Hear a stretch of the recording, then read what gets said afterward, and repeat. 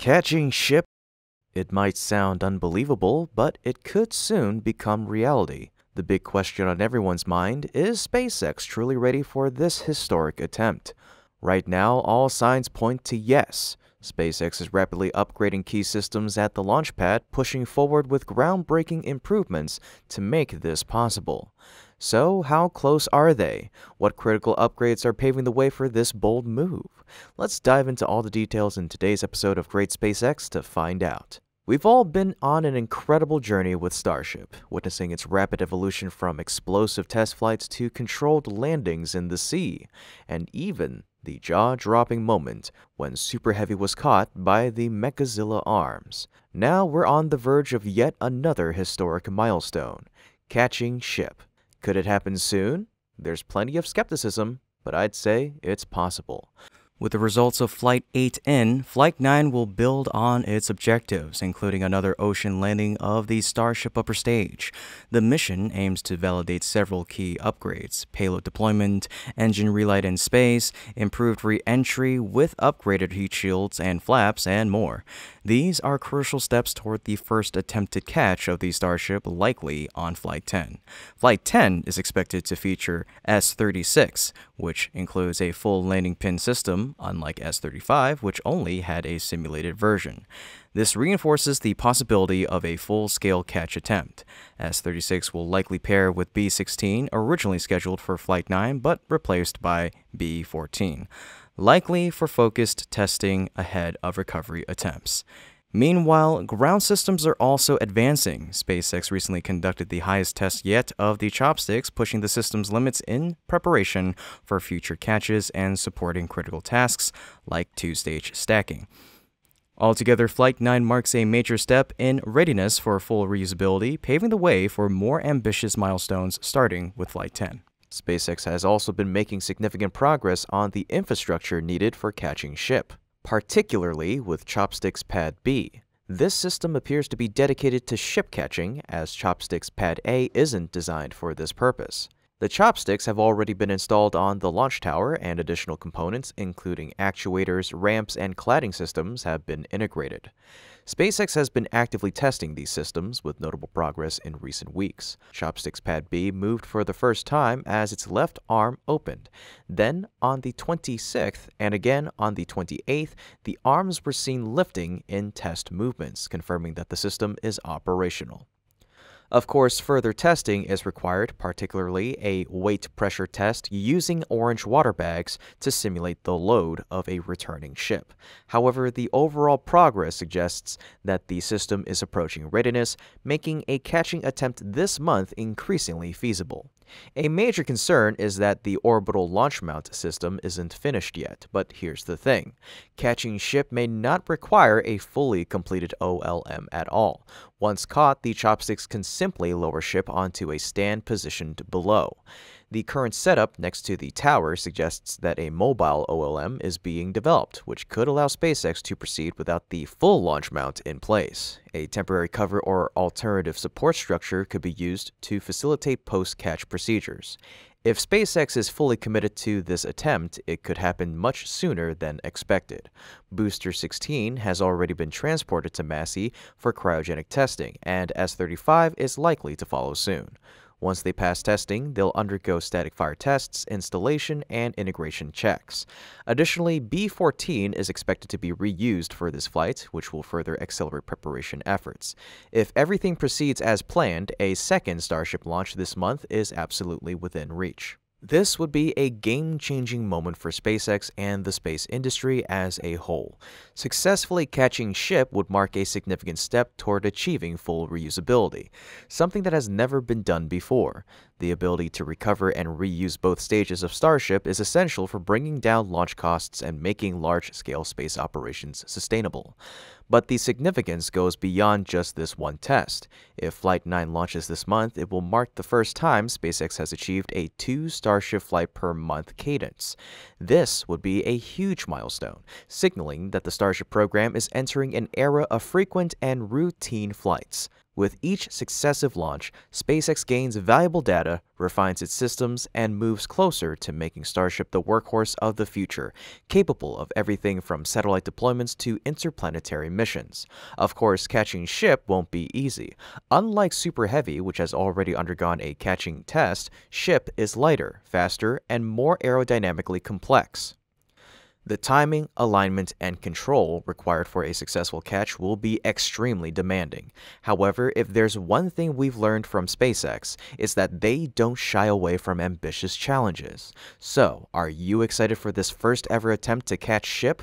Reply, let's do it in the comment section down below. Then, like the video and subscribe to our channel to stay updated on SpaceX's groundbreaking journey. Although the orbital launch mount may not play a direct role in the upcoming ship catching effort, it is still making significant progress with several major upgrades. The advancements taking place at Pad B suggest that SpaceX is preparing for a future of more frequent and efficient launches, with improved infrastructure to support the demands of Starship operations. In recent days, multiple water tanks have been transported to the site where they will be integrated with the water deluge flame trench system. This system is crucial for managing the extreme heat and forces generated during launches, helping to mitigate damage to the launch pad while also providing a safer environment for operations. One of the most intriguing developments is the construction of the BQD gantry system, which began on the 24th of February, positioned right next to the launch tower. By the 28th, the primary structure had already taken shape. The system is relatively new to the public, and many are eager to understand its purpose and functionality. Fortunately, Louis Nag and his team recently released detailed 3D renderings of the BQD gantry, providing valuable insights into its design. These images offer a clearer understanding of how this new structure integrates with the existing launch infrastructure. A big thank you to Louis Nag and his team for their dedication in creating these incredible visualizations. Their work makes it much easier for the spaceflight community to grasp the complexity of these developments, and I encourage everyone to follow their X page to support their efforts and discover more exciting insights. From the 3D images, we can see that the BQD gantry system is positioned parallel to the OLM right next to the flame trench. This positioning suggests that if the OLM ever needs refurbishment or replacement, it'll have only one available direction for movement. The name BQD gantry implies that its primary role will involve supporting the quick disconnect process for the booster. However, the exact mechanics of how this system will interface with the OLM remains unclear. If anyone has additional insights into this, feel free to share your thoughts in the comments section down below. Discussions like these help everyone gain a deeper understanding of SpaceX's evolving technology. Meanwhile, the OLM itself is also undergoing significant modifications. The 3D models indicate that it'll be reinforced with steel plates likely to improve durability and enhance drainage capabilities. A drainage system has also been incorporated beneath the OLM with early predictions suggesting it could house hydraulic pipes, electrical equipment, or even elements of a detonation suppression system that operates using water and nitrogen. While we need to wait for actual hardware installation to fully confirm these changes, it is clear that the OLM is being designed with adaptability in mind. The flexibility of the system will likely play a key role in supporting the Starship launch process in the near future. To get a better understanding of the overall layout of Pad B, we can look at it from an aerial perspective. From this angle, it's clear that a complex pipe system is being installed at one end of the pad. It appears that this system will be permanently fixed and will connect to the pipelines integrated into the OLM, further improving the mobility and functionality of the launch platform. With the trench below the pad already excavated and the first layer of concrete poured, it seems that SpaceX has successfully completed the foundational groundwork for Pad B. The next steps will likely include placing rebar reinforcements followed by pouring the final layers of concrete to solidify the base structure. Once this foundation is complete, the flame bucket system will be installed and connected to the existing structure. Finally, the OLM will be brought in and fully integrated, marking a crucial milestone in the development of Pad B. There is a tremendous amount of innovation happening here, and it's all coming together to create a more advanced and robust launch system. This infrastructure will undoubtedly improve the efficiency of Starship launches, making each flight smoother and more sustainable.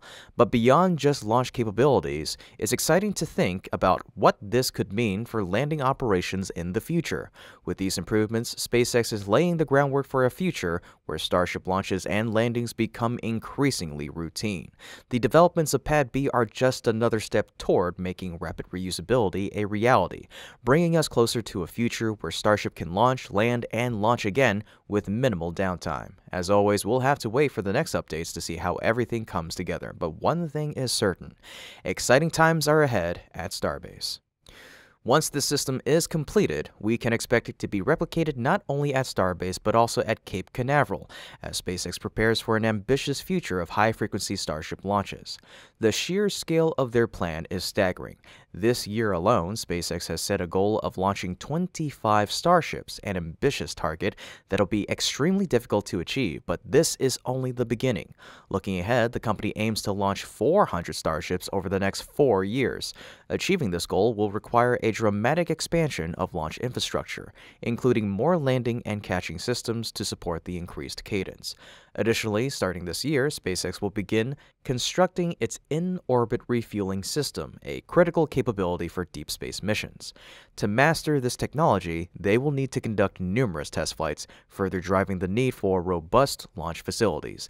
Meanwhile, expansion at Cape Canaveral is also progressing. The Starship launch tower at LC-39A has been constructed and is now awaiting its OLM, much like Pad B at Starbase. Plans for a large-scale manufacturing hub known as Gigabay are also in development, signaling a major step forward for Starship's future operations. To achieve this ambitious future, SpaceX must deliver strong performance in the upcoming flight. With groundbreaking upgrades in place, the company now has the chance to take a historic step pushing Starship closer to full reusability and, for the first time, attempting two launches in a single month. This isn't just about breaking records. Each flight serves as a crucial testbed for refining SpaceX's evolving systems. This month could mark a defining moment for both SpaceX and Starship. While the pace of progress may come as a surprise to some, one thing is certain. The future of spaceflight is unfolding before us, and it's happening faster than ever. This has been Kevin with Great SpaceX. Don't forget to like the video and subscribe if you haven't already to stay up to date with yours truly in the latest details of SpaceX's progress. Thank you so much for tuning in, and remember, curiosity, imagination, and inspiration will always follow you as long as you keep looking up.